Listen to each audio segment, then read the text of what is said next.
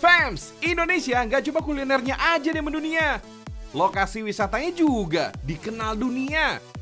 Nah, kali ini kita bukan ngomongin Bali aja nih. Ada banyak wisata di Indonesia lainnya yang terkenal ke mancanegara. Ada resto sekaligus jadi tempat nongkrong yang punya latar view candi. Pemandangannya dua candi sekaligus fans, yaitu Candi Prambanan dan Candi Sojiwan. Di restoran Suatu di Kabupaten Sleman, Yogyakarta ini, kamu bisa menikmati makan enak sambil santai menikmati panorama kota Jogja. Wah, dijamin asik deh fans. Selain nuansa alam, resto ini juga memiliki sentuhan budaya Jogja dan Bali.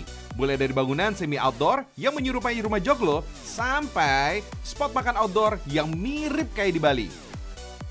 Menu makanan di sini 100% cita rasa lokal, kayak mangut lele, itu loh, sajian khas Jogja yang dibuat dari ikan lele asap, dimasak dengan bumbu santan berbumbu rempah pedas. Uh, nikmatnya tiada tara, fams. Untuk yang segar-segar, pilih rujak es krim, fams. Bahan dasarnya terdiri dari rujak dan pastinya es krim. Semua buah harus diserut dan dipotong jadi kecil. Ada bengkoang, mangga, melon, nanas, sampai semangka.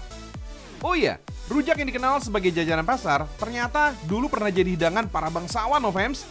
Soalnya komposisinya ini mirip banget sama saladnya orang bule.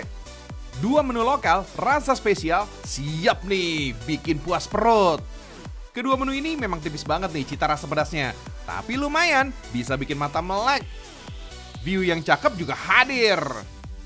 Fams, kalau kamu suka lupa makan buah, rujak pas banget nih jadi asupan serat. Sekali suap, 5 buah langsung bisa disantap.